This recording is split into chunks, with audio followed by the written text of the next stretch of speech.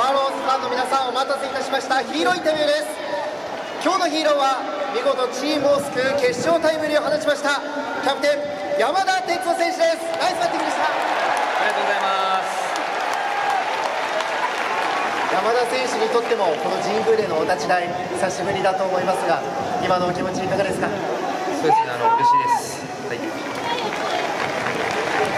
のスワローズファンの声援というのはどのように受け止めていますか？本当にあの今日も暑い中あ最後までご声援いただき本当にあの感謝の気持ちでいっぱいです。ありがとうございます。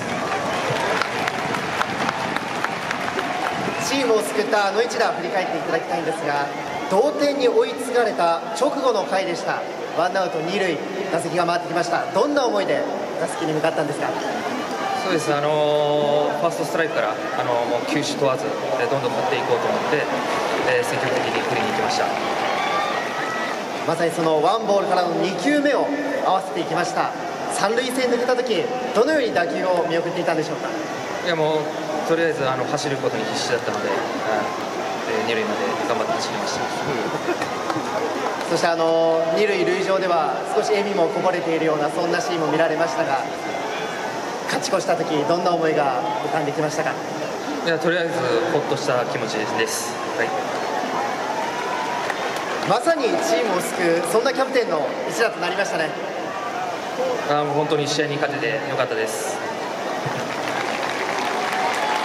今日から始まったカープとの3連戦この頭この接戦を制しました。チームとしても大きな勝利だと思いますがキャプテンからしていかがですか？はい、あのーもう試合も残り50試合切ってますし、えーこの8月が勝負だと思うので、えー一戦一戦、えー勝利を積み重ねていきたいといきたいなと思ってます。それでは相撲連戦が続きますチームを代表してぜひファンに力強い一言お願いしますはい、あのー明日も、えー勝てるように、えー打てるように頑張りたいと思います。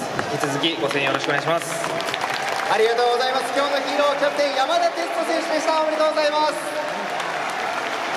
す